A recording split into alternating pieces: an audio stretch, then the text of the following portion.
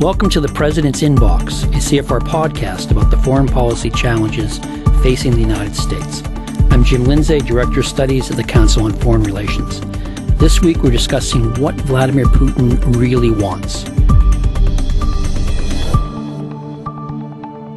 Uh, with me to help examine uh, the Russian president is Julia Ioffe. Uh, Julia is a staff writer at The Atlantic. She had the cover story in the magazine's January February issue with the title what Putin really wants. Uh, the article is based on reporting she did on the ground in Russia. Uh, Julia uh, is a well published journalist. She's also written for Politico magazine, where she covered the 2016 election, the Huffington Post Highline, foreign policy, and the New Republic. Julia, thanks for joining me. Thank you for having me. Well, let's start off with the question you posed uh, in your cover story in The Atlantic.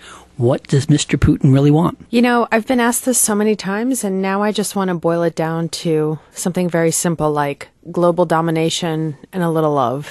Yeah. okay. But really, what he wants is to stay in power. And, Survival. Right. And he doesn't, he wants to avoid state collapse because to him, you know, he's a statist to his very core and state collapse is the worst thing that can happen. So this is why he called the collapse of the Soviet Union the greatest geopolitical catastrophe of the 20th century, which is interesting given how many geopolitical catastrophes there were in the 20th century. Um, it's why he's so intent on putting down dissent. That said, it, you know, it's kind of a self fulfilling prophecy. The more he represses healthy dissent and disagreement, the more state collapse becomes inevitable, which is, which is, I think, at the, at the core of contemporary Russia is that it's both stagnant and super stable. And yet. Stagnant and super stable. Right. I can't imagine that, you know, that Putin won't win his presidential election next right. March month. 18th, he's uh, on the ballot. It's it's going to be a nail biter. Turn number four.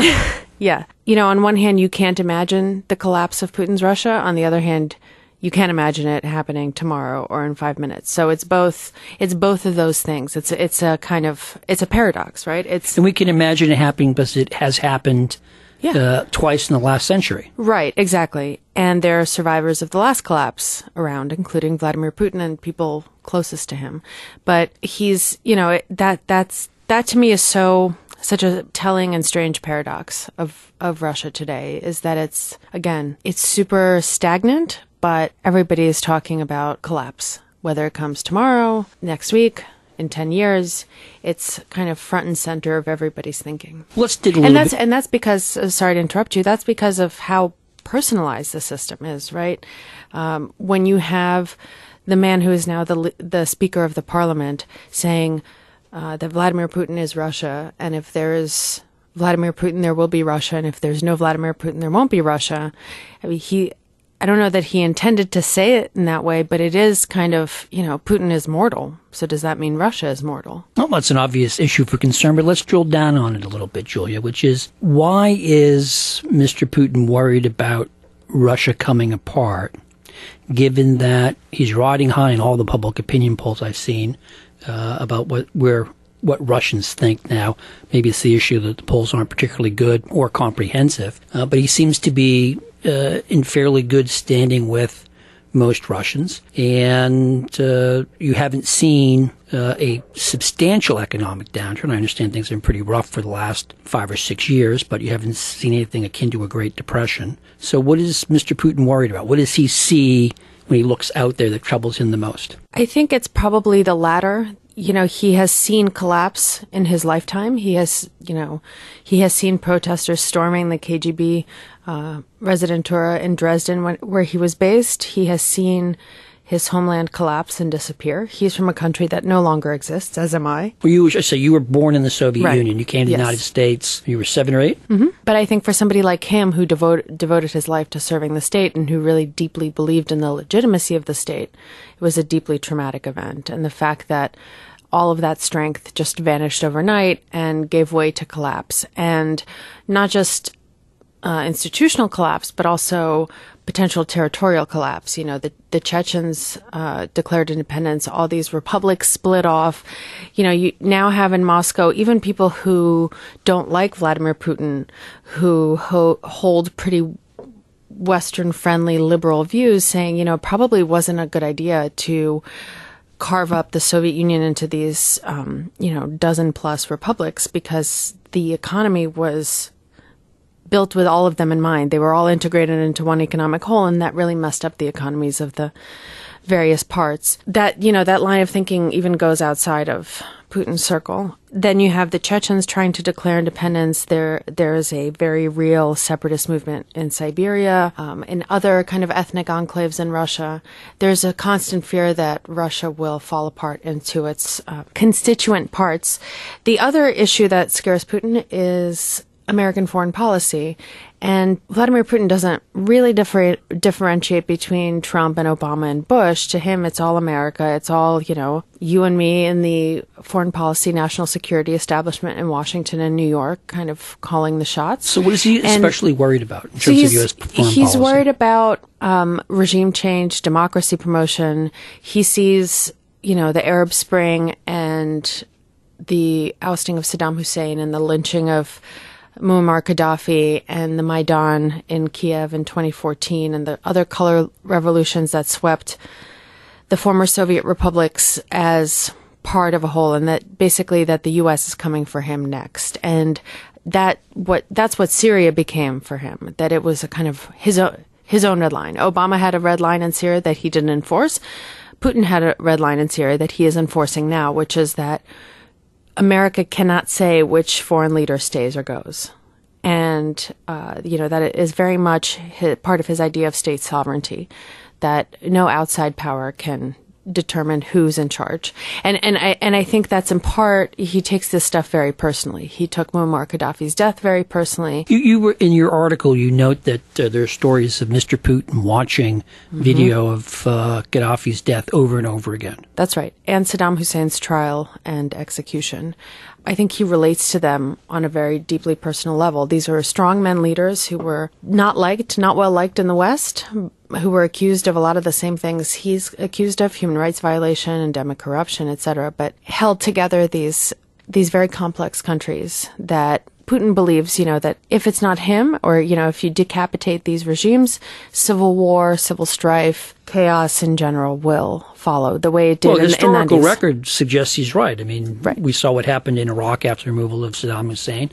Libya is in shambles today. I mean, so intellectually, his critique holds absolutely, up. absolutely. The thing is that it's kind of a it's a self fulfilling prophecy. The longer somebody like a Putin or a Muammar Gaddafi or a Saddam Hussein or Bashar al-Assad is in charge, the longer they make opposition to them radical, you know, because that kind of repression of opposition radicalizes them. Um, so it's sort of like holding the lid down in a boiling pot, right? And, and it's just going to make it. I don't. I don't. Right. It, you know, the pressure builds up, and all these forces that could have been dealt with in a much gentler, more civilized way become very violent.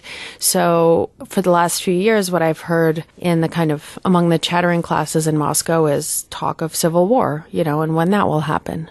That civil basi- war in Russia. Mm-hmm, that basically it was avoided uh, for whatever reason in the 90s, or it was very, it wasn't an actual civil war. There was a lot of violence and bloodshed in Chechnya, in the business spheres, as, you know, mines and factories and oil wells were being privatized, the opposite of nationalized, but that it didn't address all kinds of very important root problems, and that they've only gotten worse under Vladimir Putin, and that there's going to be, so the winter of 2011 2012 was called the white revolution or the snow revolution because of uh, you know people wore little white ribbons on their r- lapels and they were generally the white collar class of moscow and st petersburg and a couple other cities that have um, populations of over a million. And, more an urban phenomenon. Right.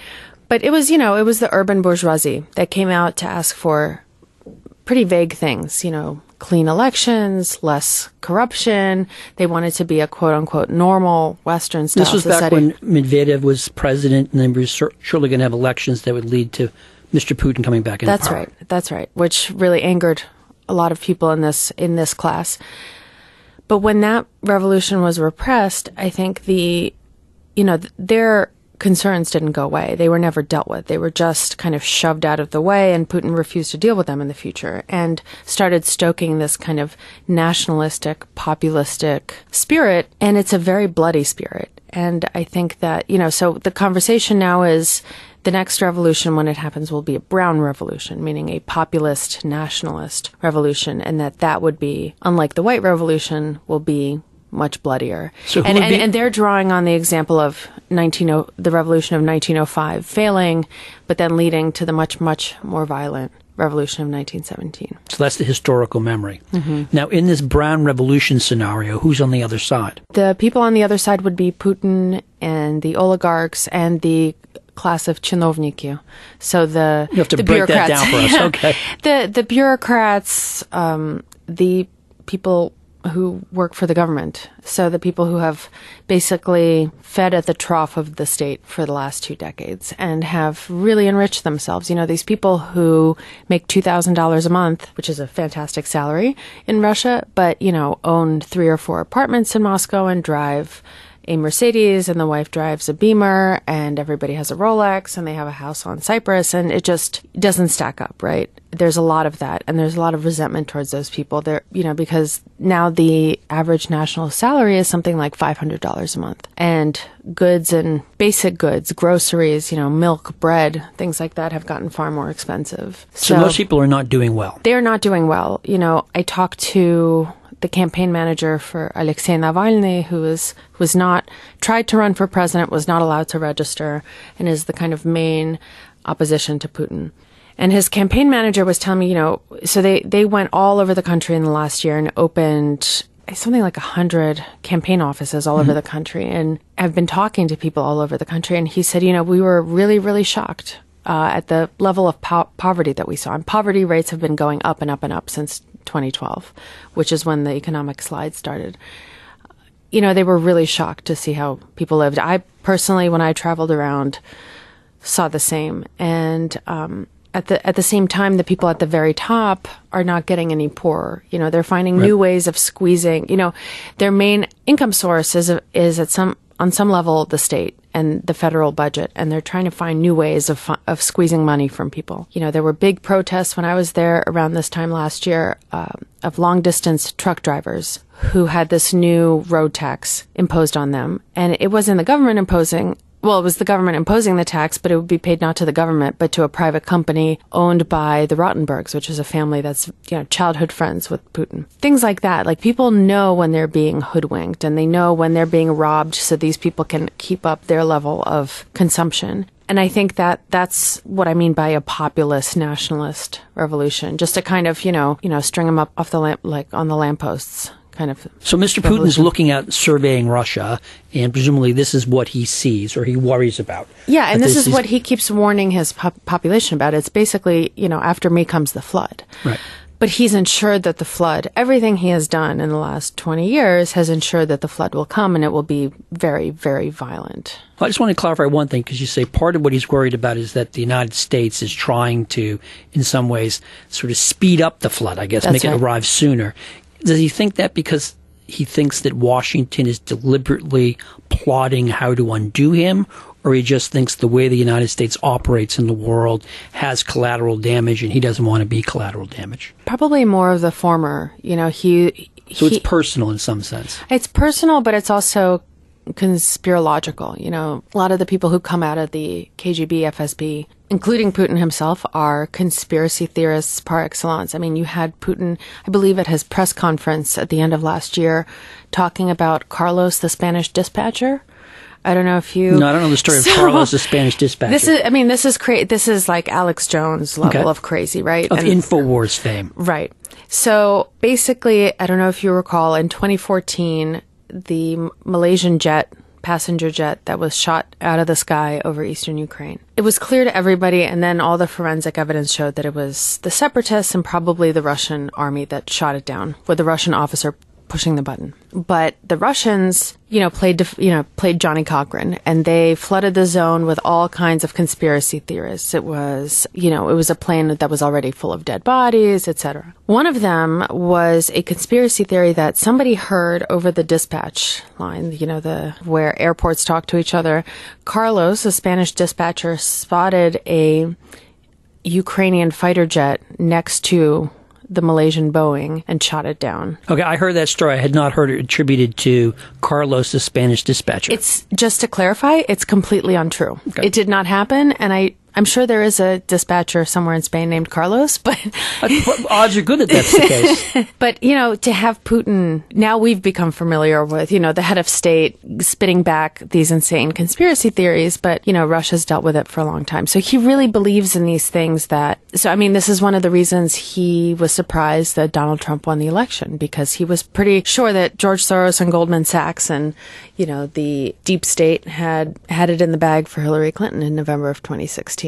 So he really, I think he really deeply does believe that all these things, all these forces are, you know, including the National Endowment for Democracy and IRI and um, USAID and all these organizations that claim to be helping civil society and It's all part of the journalism, big plot. that it's all there to undermine his regime and to oust him from power. And I- there's, you can't, the people who believe this in Russia, there's, it's pointless. You can't convince them otherwise. And unfortunately, they happen to be at the very, very top. I want to get into the question of uh, what Putin was seeking to do uh, in terms of meddling in the 2016 election. Before we do, just curious about one thing.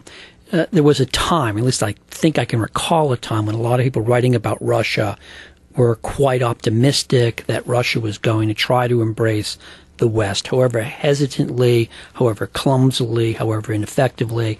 I think particularly with uh, the presidency of Mr. Medvedev, there was a notion that somehow Russia was going to try to embrace the 21st century. Uh, it doesn't seem like Mr. Putin has embraced the 21st century in quite that way, uh, in terms of modernizing the economy, moving away from being dependent upon oil and gas as a revenue, enforcing the rule of law, getting rid of corruption. Whatever happened to that agenda, or did it never exist? I think it was not clear how committed the Kremlin was to it, right? There, there was some commitment and obviously some sign off from Putin because Medvedev pursued all this stuff, right? So in some ways it was Putin's policy too. But basically it was all um, thrown overboard with the intervention in Libya. I think the over the NATO overreach in Libya convinced Putin that the West was not acting in good faith and that no matter how much Putin tried to fight corruption, even if it was kind of tongue in cheek, no matter how much he embraced technology and diversification of his economy, that they were still out for him personally and that they were going to take him out. So this is even after his famed speech. What was it, 2007 at the Munich It-. Security mm-hmm. Conference, where he seemed to have thrown the gauntlet down toward the West. You think there was still a chance after that he might have been persuaded to act otherwise? I think in a purely kind of cynical utilitarian way, sure. You know, Russia was, remember, hit the hardest of all the Western and emerging economies. It was hit the hardest by the 2008 financial crisis. And that's because commodity prices plunged and Russia was so dependent on them. So it was. Life looks a lot better when oil and gas, well, oil's at 150 $160. That's right. A barrel. That's right. So what we've seen since is that they've adjusted. That actually there's a lot of elasticity in terms of uh, Russians' tolerance for pain and belt tightening, uh, some level of austerity, and I would push back on the notion that they haven't embraced the 21st century. If anything, they've really embraced it just in their way. I mean, Okay. what we saw in 2016, you know, and uh, the interference in our election and the French election and the German elections and the Spanish independence referendum and Brexit in in 2014 and sowing all this disinformation about the Ukraine conflict, that is a much tighter embrace of modernity, you know, post modernity, I would Well, say. let, me re- let me rephrase my Yeah. question then. The, the embrace of, of, of the 21st century was in quite a different way than many people had anticipated. And could- we did. Right, Than we did. But I, I can recall being in Moscow, people regaling me, uh, I guess would be in the aughts, with the potential Mm-hmm. of Russia because of its great scientific, mathematical base, what they could do, and they wanted to move into this space. Know Mr. Medvedev gave a number of speeches talking about that. That seems, again, not to have uh, materialized. No, which isn't to say that Russia doesn't pos- still possess great scientific and mathematical capability. It does. but also not as much as we think it does. I mean, the brain drain really did have an effect, and the fact that the education system is so wildly corrupt. I mean, people know how much each exam costs, right, in colleges, including medical schools, which is terrifying.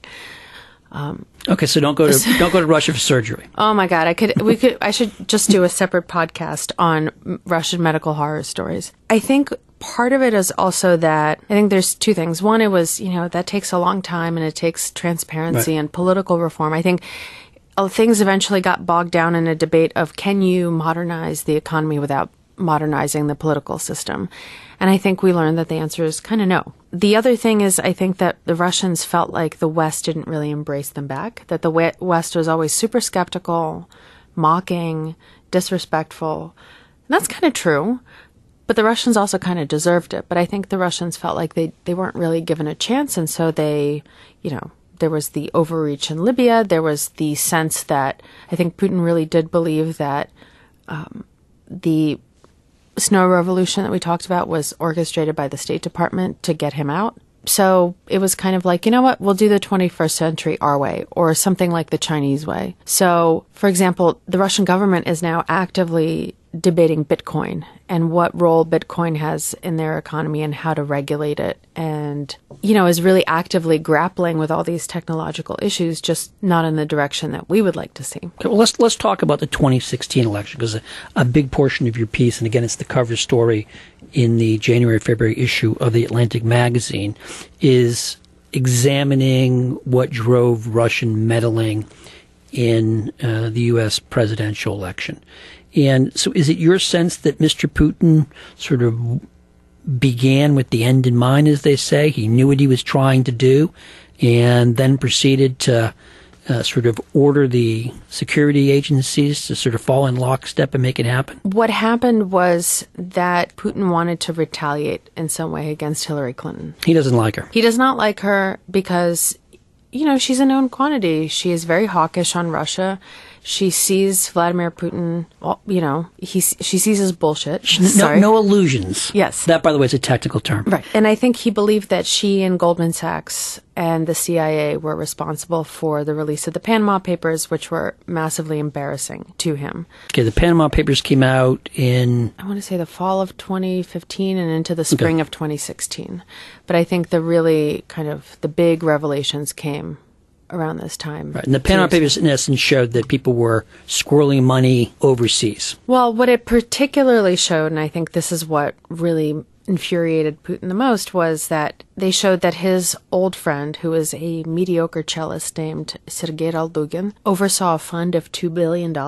And it I never knew it paid so well to be a mediocre cello player. then you know and and the journalists in the consortium that published the panama papers were able to show that basically he was this money was just a piggy bank for putin and his uh, family and Roldugin then said oh well this is this is money allocated by the state for me to buy antique cellos for such and such museum so those, are, those are very expensive cellos at $2 billion. I don't know. To uh, any kids listening out there, you know, golden opportunities in the antique cello market.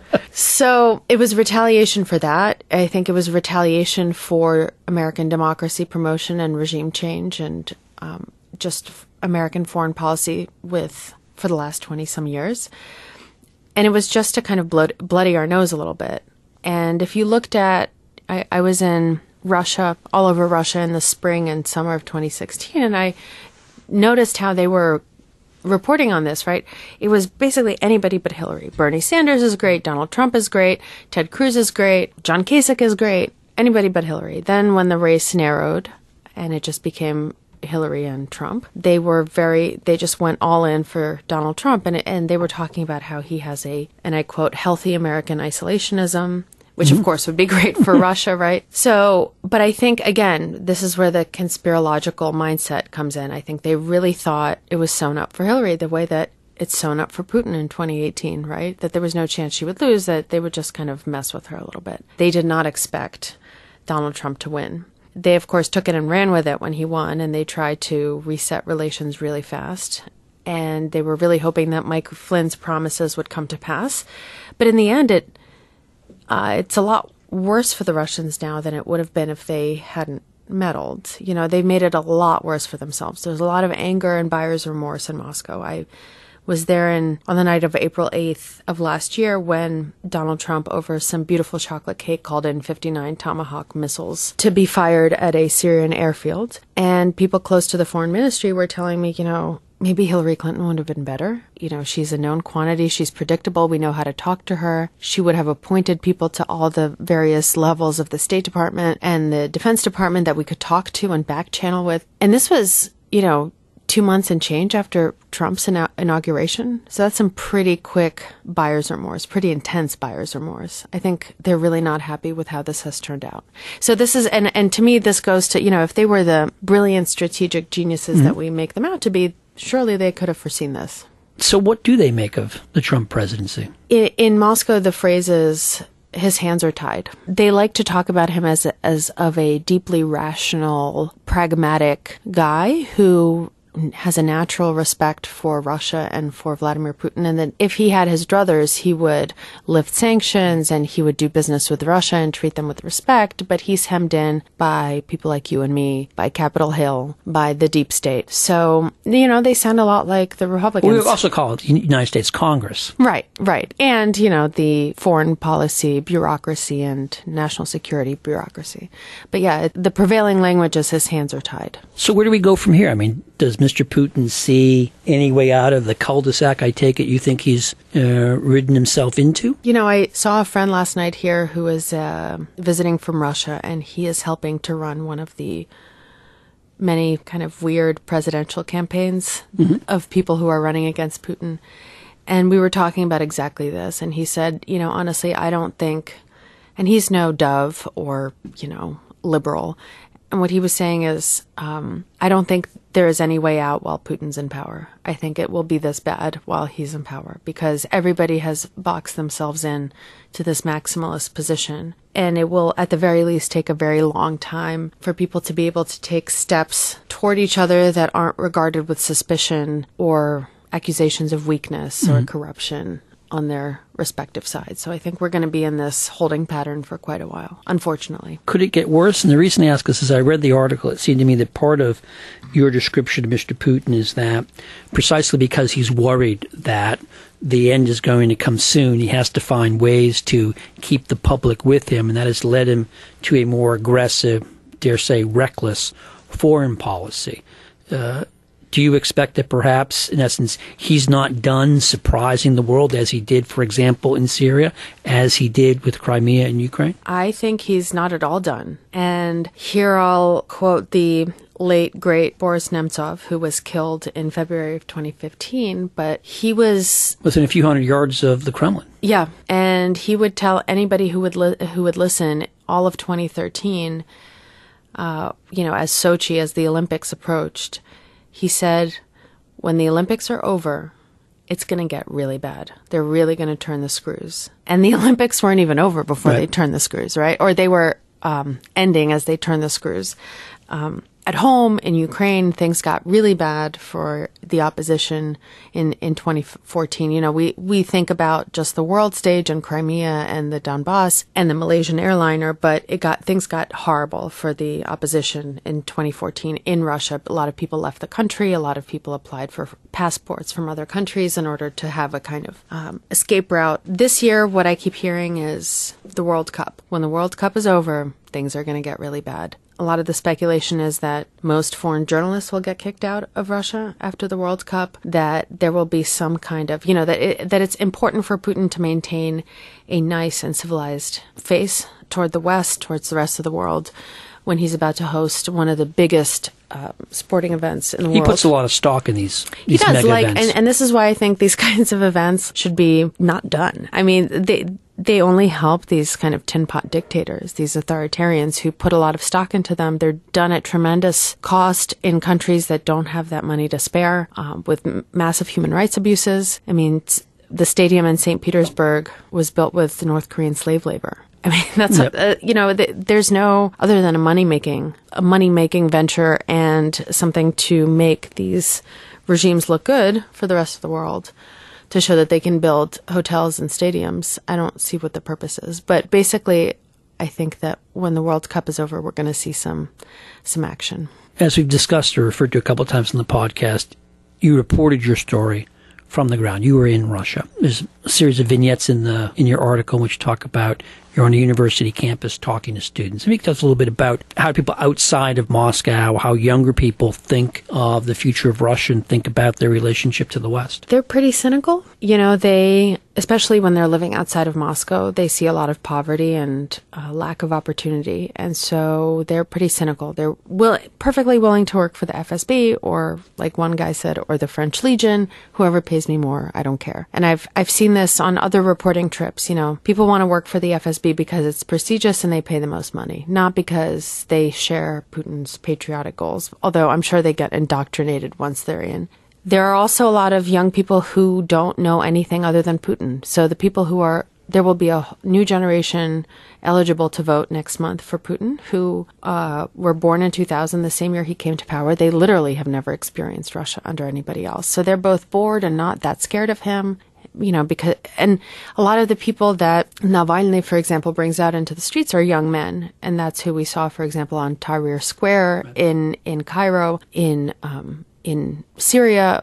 There's a reason it's young men, you know, they, mm-hmm. they, you know, their brains haven't fully formed.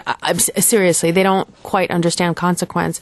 So for me, what was the most interesting was going to the court that was processing a lot of the arrests yeah. from the mass protests. And these, I mean, they were boys. They, you know, they have beards and um, mustaches coming in, but their voices are still cracking. They're, they're kids. And they at no point thought that going out into the street, which seemed cool and fun and like a, a rush of adrenaline, at no point did they think they'd end up in court getting a guilty verdict something on their record that might keep them from getting a job in the future. And I think we in the West fetishize young people abroad. We think that they're always the vector for change and progress, and often they are. But young people stay young for a very short amount of time and very quickly turn into more pragmatic, cynical, middle aged people who have mortgages and families and um, a much lower tolerance for risk. And on that sobering note, we will close up the President's Inbox for this week. Julia, thanks for joining me. Thank you so much for having me. Please subscribe to the President's Inbox on iTunes and leave us a review. It really helps.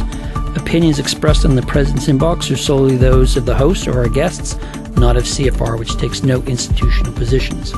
Today's episode was produced by Kevin Lizarazo with senior producer Jeremy Sherlick. Our recording engineer was John Fletcher. Special thanks go to Audrey Bowler, Gabrielle Sierra, Maral Trevidian, Corey Cooper, and Patrice Narasimhan. This is Jim Lindsay. Thanks for listening.